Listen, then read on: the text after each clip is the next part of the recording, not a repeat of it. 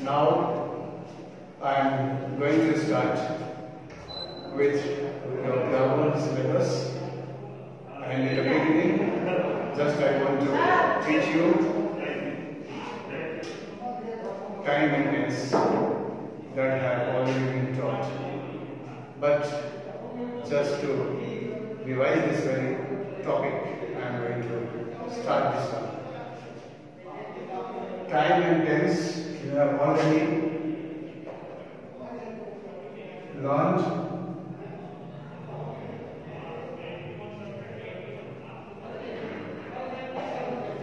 time and tense you are knowing already and since you are students of class 10th you are knowing that grammarians have divided this time and tense into three parts.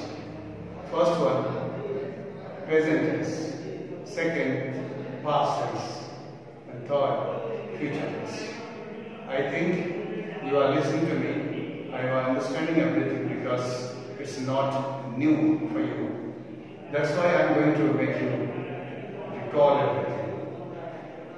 And now listen to me. First one, present tense. Present tense, that is, suppose I am writing.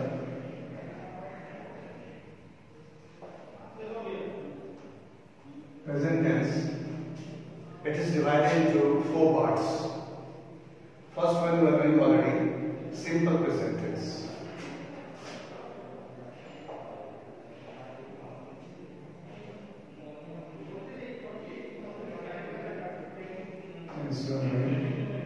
Second one, you are knowing already present continuous.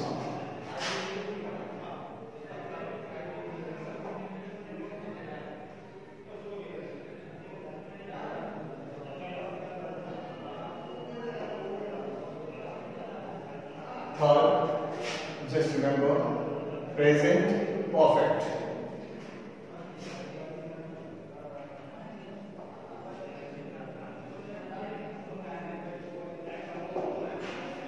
and in this way at last present perfect continuous present perfect continuous and here I want to tell you that present is here perfect you have already written and continuous that is borrowed from here. in this way, present perfect continuous, that is the fourth one. And now I am going to tell you with the help of our Manatan Hindi, just for your convenience, some sentences in Hindi ends with ta hai, ti hai, te hai, and in this way, those sentences can be easily rendered as we are going into English.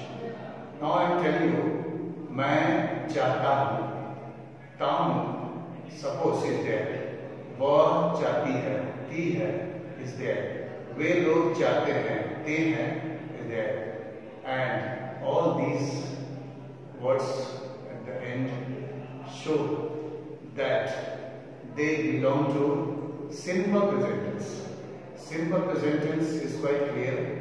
Now you have to learn the structure how we will render or change or translate these Hindi sentences into English. Now, I am going to write here.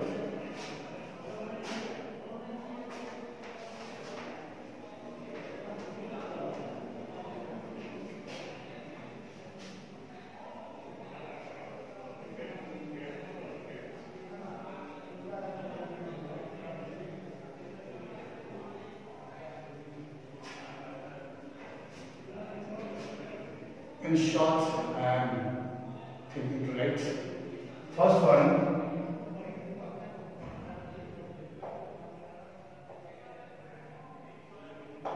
Simple present.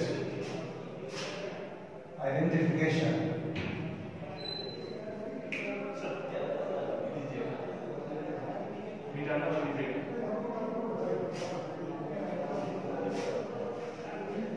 Identification. Now, I have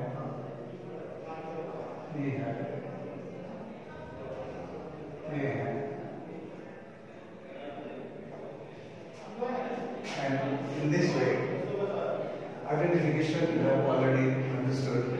You can identify in this sentence whether it belongs to or present continuous or present perfect or present perfect continuous.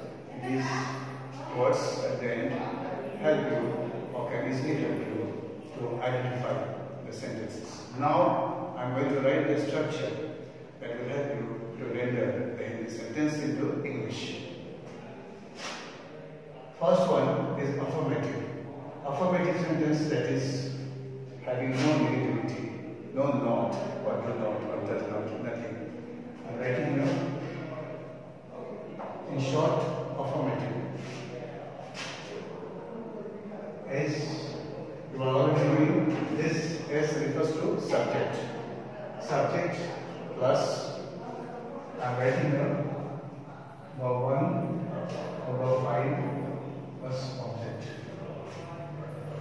Affirmative it is, that's why there is no do not, no does not. You have understood? This is called affirmative sentence. Now I am going to write negative sentence. Negative sentence. In this way is plus do object does plus v1 plus object. In this way